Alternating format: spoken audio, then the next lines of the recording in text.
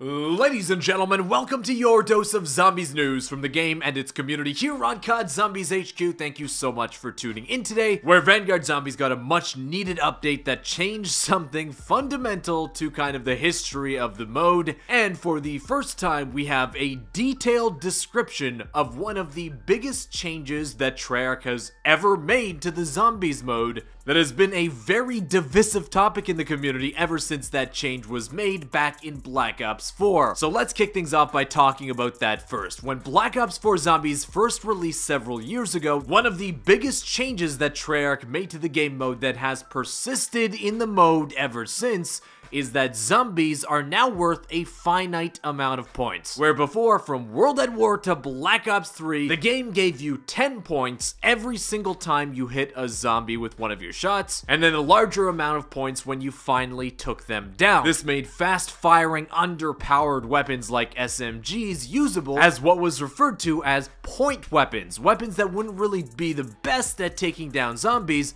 but would give you a lot of points. But in Black Ops 4 and ever since, they changed it so that you only get points when you take down the zombie, eliminating that 10 point bonus for every shot you hit. Now, we weren't 100% sure why Treyarch made that change until now, where the lead game designer over at Treyarch started to explain the reasoning behind it. Where when ItzPerka over on Twitter asked Kevin Drew about this issue, he responded like this There are a few reasons, but the main one for me was that my brother wanted to play my level in Black Ops 3 and he got shouted at in a public match for killing zombies the wrong way and never played again. He was just trying to take down zombies fast and the system was punishing him for it. So it is an interesting concept, right? In the old point system, technically what he's saying is true. Players do get punished for taking down zombies too quickly by earning less points from them, and that the optimal way was using lesser powered weapons on the body and then finishing off with a headshot in order to get the most amount of points from each individual zombie. Now I think the first mistake of Kevin's brother in this instance is playing a public match, as I'm sure you all know how interesting those could be at times. This is the Call of Duty community after all, where on one hand, being punished for taking down zombies quickly does kind of suck, but the old system allowed for little bit more complexity and a higher skill cap utilizing your knowledge of how to get the most out of each individual zombie in Black Ops 3 and all the games before it in order to use it to your advantage. That is basically eliminated now. Another Twitter user responded to Kevin saying,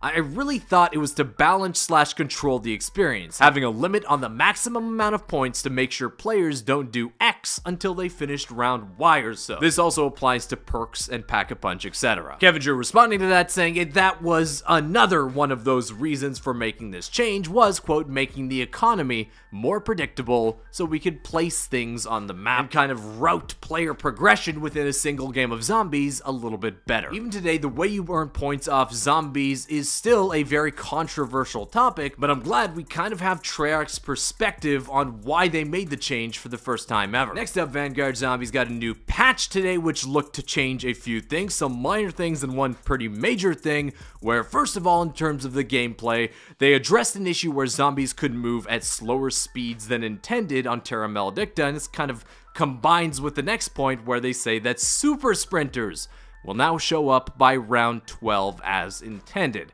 Those two points combined basically means you're going to be seeing zombies move a lot faster and super sprinters appear a lot quicker on the new map, which will make it more difficult. So if you play Terra Maledicta, it seemed a little bit too easy. These bugs seem to be in part why that is. It's going to be a lot tougher after this update. But one thing that Treyarch did to, to counter this change is they massively buffed the classic wonder weapon which has been added into the map, the ray gun, where they say that they've increased the base damage damage, the pack-a-punch damage, splash damage radius, ammo count, and ammo pickups per community feedback, where the base damage for the unpapped ray gun has been increased to 400, the PAP Tier 1 has been increased to 900, the PAP Tier 2 has been increased to 1800, and the PAP Tier 3 has been increased from 2400 all the way to 3600, so that's quite a significant buff for the ray gun.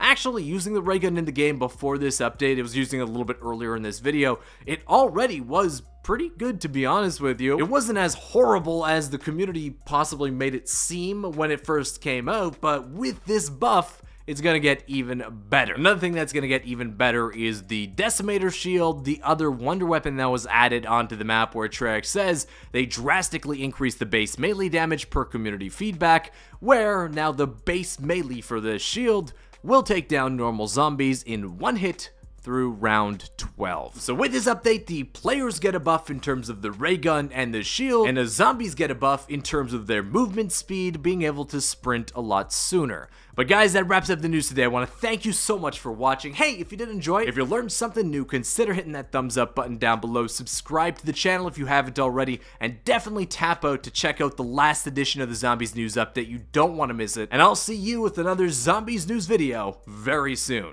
Peace.